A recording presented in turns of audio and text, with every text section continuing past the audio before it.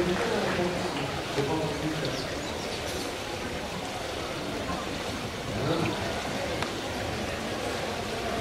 quel pays de Grèce peut-on aller visiter le Parthénon Athènes, bonne réponse.